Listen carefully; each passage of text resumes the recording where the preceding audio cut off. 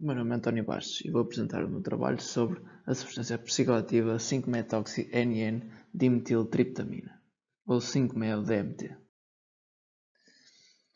A 5-MeO-DMT é uma substância pertencente ao grupo das triptaminas, nomeadamente as indolialquilaminas,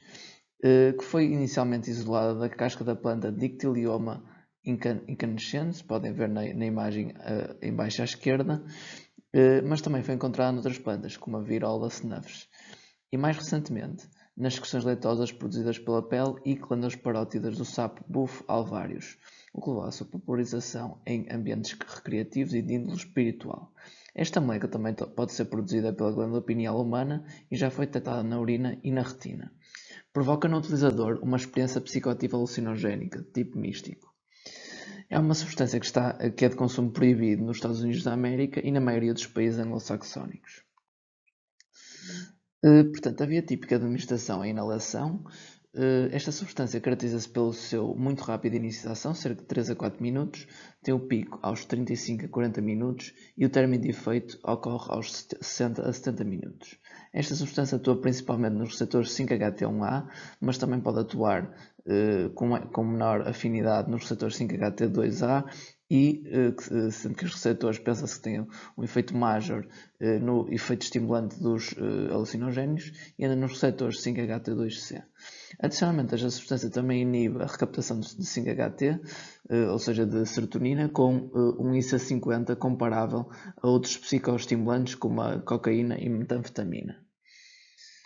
Como é o DMT, sendo um derivado triptamínico, é que principalmente inativada pela perda de um grupo amina mediado pela monoaminoxidase uh, A, portanto a MAO-A, em ácido 5-metoxindol 3-acético, portanto 5-MIA, está representado em baixo à esquerda como metalito, é um metalito inativo, e é odesmetilado uh, pelo citocromo P450-2D6, CYP2D6,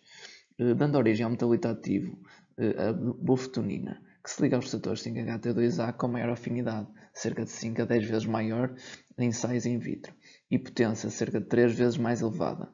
No entanto, esse metalito parece ter uma menor penetração da barreira hematoencefálica, pelo que, se for produzido perifericamente, que parece ser a maioria eh, dos do caso da budefetonina, parece ser maioritariamente produzido na periferia, pode não atravessar a barreira hematoencefálica atravessar com maior dificuldade e ter menor contributo por efeito psicadélico. É de notar uh, que a maioria dos consumidores reportou vivências de tipo místico ou exotérico e apenas uma minoria vivenciou experiências como medo, ansiedade, paranoia e pânico. Uh, um grande número de consumidores reportou que o uso de 5-MeO-DMT contribui para a melhoria de sintomas relacionados com condições psiquiátricas, incluindo ansiedade, depressão, dependência de substâncias e perturbações, uh, perturbação de stress pós-traumático. Esta, esta, este benefício parece ser dependente da, da, portanto, da intensidade da vivência mística. O consumo simultâneo de 5-MeO-DMT e de um inibidor da MAO-A, como as beta-carolinas uh, da ayahuasca, que é uma planta, pode, uh, por esta última, impedir a inativação da 5-MeO-DMT, aumentar e prolongar a, a, exposição em cerca de 4 vezes a 5-MeO-DMT e ao seu metabolito ativo, desencadeando efeitos hiperserotoninérgicos com uh, já casos fatais uh, reportados, apesar de raros. A, a ayahuasca encontra-se também em estudo como possível, portanto, arma terapêutica para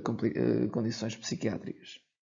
Assim como é o DMT, tal como outros alucinogénios, demonstrou baixa taxa de sintomas de dependência, como craving, assim como baixa probabilidade de complicações psiquiátricas e médicas relacionadas com o seu consumo. É, por isso, uma substância com baixo potencial de abuso e poucos casos mortais reportados. A detecção de 5-MeO-DMT e bufetonina faz pela análise do sangue periférico, através do uso de cromatografia em fase líquida com detecção por espectrofotometria de massa.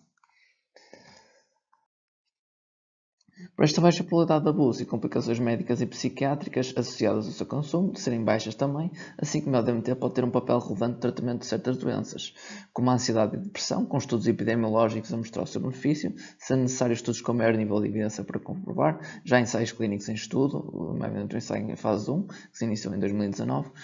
Uh, reportou-se um poder anti-inflamatório e de regeneração neuronal relacionado com esta substância, o que pode abrir uh, portas para a exploração do seu potencial em doenças autoimunes e neurodegenerativas.